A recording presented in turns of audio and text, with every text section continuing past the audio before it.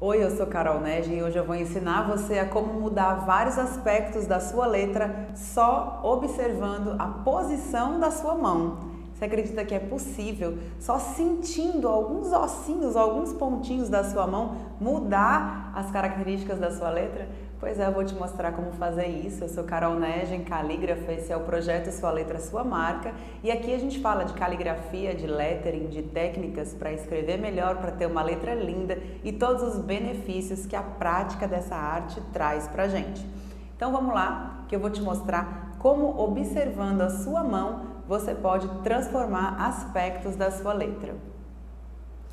Uma coisa que eu sempre digo quando a gente está escrevendo é que muitas vezes a gente está desconectado do ato de escrever. A gente está fazendo isso no automático. Então a gente não presta atenção, não só no formato do que a gente está fazendo, mas no nosso corpo também.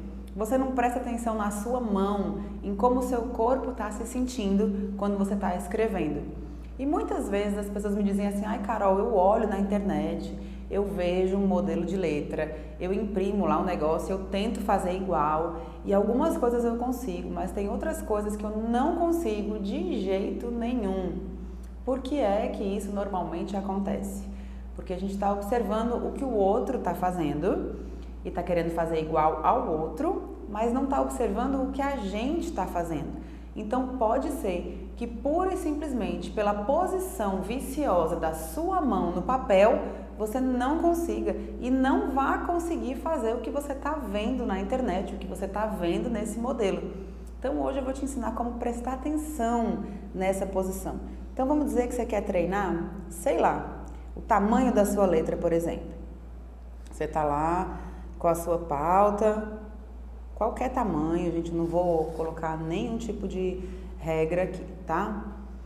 Vou colocar uma inclinação qualquer, isso não vai fazer diferença agora. Olha só, quando eu vou treinar o tamanho, eu vou prestar atenção aonde da minha mão está encostando no papel. Então, quando eu escrevo, começa a fazer o seu exercício, recitando o mantra, sobe leve, desce com peso, sobe fino e desce grosso, e começa a prestar atenção. Qual é a parte da sua mão que está encostada no papel. No meu caso, o apoio nesse exercício agora, nesse tamanho, está aqui no meio, ó. Eu estou sentindo essa parte do meio da minha mão encostar. Qual é a hora que eu sei que eu não vou mais conseguir? Eu começo a sentir na minha mão que isso está mudando daqui para cima. Eu estou escrevendo e eu não estou mais conseguindo apoiar aqui de repente está fazendo uma força aqui e começa a deformar a minha letra. Então tá na hora de eu parar, mexer um pouquinho meu papel para a esquerda, começar de novo com o apoio aonde? No mesmo lugar. Se eu mantiver o apoio da minha mão no mesmo lugar, eu vou conseguir manter o apoio para fazer o exercício do mesmo tamanho. Isso serve para mudar de tamanho também. Então vamos lá. Quanto mais perto da ponta da caneta e quanto mais perto da ponta da mão você apoia, menor a sua letra. Então, quem tem a letra pequenininha vai ter a tendência a apoiar aqui, ó, no dedinho ou nesse ossinho e a segurar mais na ponta da caneta. E aí vai fazer isso aqui, ó.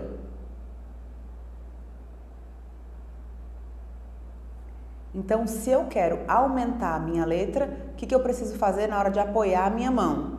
Segurar a caneta um pouquinho mais para cima e descer o lugar onde eu apoio. Encosta o papel, a mão no papel, sente mais embaixo. Ao invés de apoiar aqui, sente esse apoio aqui. E aí começa de novo. Naturalmente, o limite do tamanho do seu exercício aqui vai mudar. E aí, se você apoiar aqui, a sua letra também vai mudar. E quando você começar a sentir que está andando aqui o apoio, para, começa de novo. Na escrita, a mesma coisa.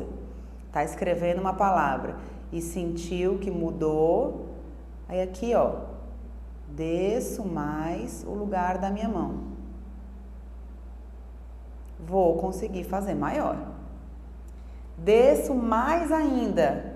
Vou conseguir fazer maior ainda só mantendo esse pontinho da minha mão como se fosse a ponta seca do compasso. Eu só mexo o resto, ó. E não mexo a base onde minha mão está apoiada. Aquele pontinho fica fixo. Só aí você já altera o tamanho, mudando o ponto aonde você apoia a sua mão no papel, certo? Quando é que eu tenho que parar? Quando eu estou sentindo que esse ponto está mudando de lugar. Então, eu tenho uma letra grande demais. Presta atenção em onde você está apoiando. Provavelmente, se a sua letra é grande demais, você apoia numa parte mais baixa da sua mão para escrever. Comece a fazer exercícios e a treinar a sua escrita apoiando numa parte mais alta da sua mão. Então, muda daqui de baixo para cima. Automaticamente você vai ver isso acontecer. Pode prestar atenção quando você estiver escrevendo. Por exemplo, sei lá, vou colocar aqui, é, gentileza.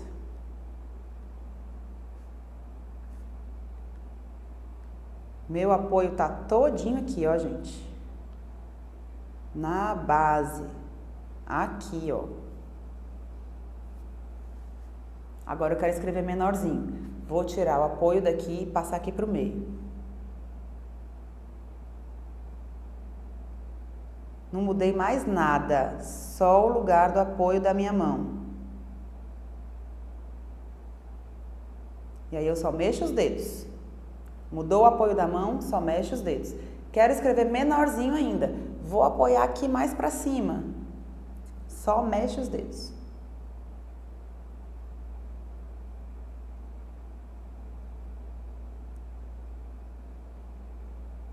Só de mudar o lugar aonde eu apoiei a minha mão, aqui, aqui e aqui, olha o tamanho da letra que eu produzi num lugar e em outro.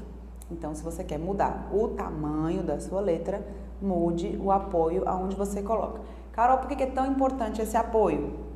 Porque você consegue uma escrita muito mais firme e um exercício muito mais firme, prestando atenção no apoio que você está colocando. Não esquecendo que o antebraço precisa estar tá apoiado na mesa. Quanto menos apoio você usa, mais insegurança você vai ter na hora de escrever. Então, quando você apoia o antebraço, Quanto mais você presta atenção, é como se fosse um compasso, né, no ponto seco do compasso, que a gente chama na ponta seca, no papel, mais liberdade você vai ter com a sua mão. Ah, eu não, não, nunca prestei atenção nisso. Quando eu fui escrever, eu percebi que eu não apoio nada. Quanto mais solta, pode prestar atenção, olha a diferença que faz. Eu faço isso há muitos anos, eu tenho muito treino de coordenação motora. Se eu apoiar minha mão para fazer esse exercício, olha como ele sai.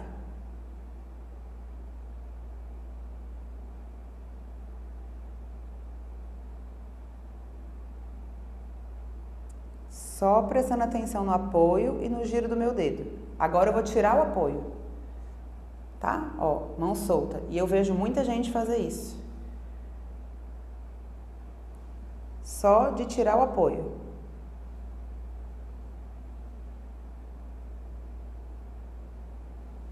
E de deixar minha mão solta no ar. Olha a diferença. Essa atenção que você presta no apoio da sua mão pode levar você para qualquer tipo de mudança na sua letra. Não precisa ser só no tamanho. Você pode fazer isso com a inclinação, você pode fazer isso com a altura. Todo exercício que você for fazer é importante que você preste atenção. Nesse caso, a gente está falando do tamanho e da distância onde você coloca o apoio. Mas sempre que você for fazer algum exercício ou tentar mudar algum aspecto da sua letra, é importante que esse apoio fique bastante claro. Outra coisa que é bom você observar é se você está sentindo algum ponto de tensão nos ombros quando você escreve. Porque muitas vezes você está apoiando aqui ou colocando pouco apoio na mão e deixando aqui tenso. Quando você não deixa o ombro leve, esse exercício de escrever vai ficar cansativo e a sua escrita vai ficar prejudicada, vai ficar mais torta, vai ficar mais irregular. Quando você relaxa o ombro, apoia o braço e presta atenção no movimento da sua mão, você consegue um movimento muito mais regular. Ah, Carol, eu quero mudar a inclinação da minha letra. Então vamos lá. Mesma coisa, vamos prestar atenção em como está o apoio da minha mão para mudar a inclinação dessa letra. Então, virei aqui o papel, vou colocar mais para cá. Vamos dizer que a minha letra é muito deitada e eu quero colocar ela mais em pé. Escolhe como você quiser a inclinação, tá? Você vai ver que isso é possível fazer para uma outra inclinação também. Vamos dizer que ela é muito em pé e eu quero ela bem mais deitada, certo?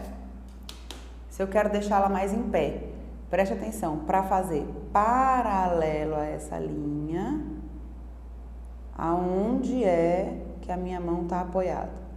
Preste atenção no ombro enquanto você faz. Veja se não fica tenso. Se o ombro estiver tenso, você está apoiando no lugar errado. Está segurando no ombro, que era para estar tá só aqui na mão. Presta atenção no ombro, solta o ombro. Enquanto você faz nessa inclinação, está aqui embaixo. Preste atenção na sua mão. Normalmente a gente não presta atenção em como o nosso corpo está se sentindo com a atividade que a gente está fazendo. Na escrita, muito menos. Certo? Agora eu quero inclinar mais. Olha só, para onde foi meu apoio? Para as costas da minha mão. Para eu deixar meu ombro relaxado. Se eu ficar com ele tenso aqui, eu vou causar dor no ombro e vou ficar com a minha escrita prejudicada. Costas da mão e mexe só o dedo. Presta atenção aonde está o apoio da sua mão. E aí você consegue mudar muito mais a inclinação. Começou a ficar impossível, tira a caneta, muda o papel de lugar, começa de novo. Mas lembra da base, de onde você partiu para conseguir fazer a mudança nessa inclinação. Quando você começar a ver que a inclinação está mudando, pode prestar atenção na sua mão, você está mudando esse movimento também. Está mudando o ponto de apoio dela. Tira, arruma o seu papel, Presta atenção nos seus ombros e volta para o mesmo ponto de apoio da onde você começou para conseguir a inclinação que você quer. Então, toda vez que você for fazer um exercício para mudar uma das características da sua letra, preste atenção para ficar como você quer, qual é o ponto da sua mão que precisa estar tá apoiado ali, paradinho, para que só o resto se mexa. Quanto mais solto, quanto menos apoio, mais dificuldade você vai ter. E claro, quanto mais você for treinando com apoio, mais coordenação você vai ganhando, mais você vai conseguindo se soltar do apoio é, futuramente. Mas enquanto você não tem essa coordenação desenvolvida, você precisa disso para poder executar com perfeição. Então, olhar para o nosso corpo e prestar atenção. Olha, quem está mandando eu escrever, quem está mandando eu fazer esse exercício, quem está mandando eu usar essa característica na minha letra é o meu cérebro. A caneta não vai fazer sozinha. Se você ficar olhando, ah, não, a Carol, quando vai escrever uma letra, ela escreve o A assim. E aí eu vou olhar para o formato do A dela e vou ficar tentando fazer. Gente, se você tiver uma posição viciosa na mão, você pegar muito perto da ponta da caneta e colocar o, o peso aqui, ó, não vai sair. Você pode colocar 10 As meus do lado, não vai sair igual. Por quê? Porque você precisa prestar atenção na forma certa de apoiar a sua mão para ela correr mais livre. Então, muitas vezes não está o segredo em olhar como o outro está fazendo, mas em prestar atenção no que você está fazendo com o seu corpo, com a sua mão e usar esses pontos de apoio a seu favor. Comece a prestar atenção aonde você coloca peso, aonde você coloca pressão e não muda mais de posição quando você for fazer um exercício para mudar uma característica da sua letra. E uma coisa que eu falo sempre e que é muito importante, porque a gente não pode esquecer é de que é uma característica por vez. Tem que focar em uma coisa por vez. Mesmo que você esteja querendo melhorar o aspecto geral da sua letra e isso tenha a ver com várias características, escolha uma. Vai treinar o tamanho? Preste atenção no apoio que você precisa para mudar o tamanho. Quer mudar a inclinação? Preste atenção no apoio que você precisa para mudar a inclinação, mas faz um por vez. Depois que você praticar e tiver bom nessa característica, aí você está pronto para mudar para a próxima, sempre prestando atenção no seu corpo. Não pense que a caneta vai fazer o trabalho por você. Quem faz esse trabalho é o seu cérebro e a caneta só te obedece. Foco, atenção e ponto de apoio para melhorar a sua letra. E a gente se vê no próximo vídeo.